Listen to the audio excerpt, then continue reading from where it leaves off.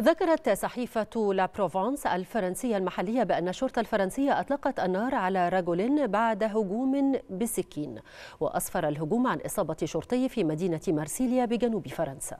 قالت الصحيفة إن دوافع الرجل لم تعرف على الفور.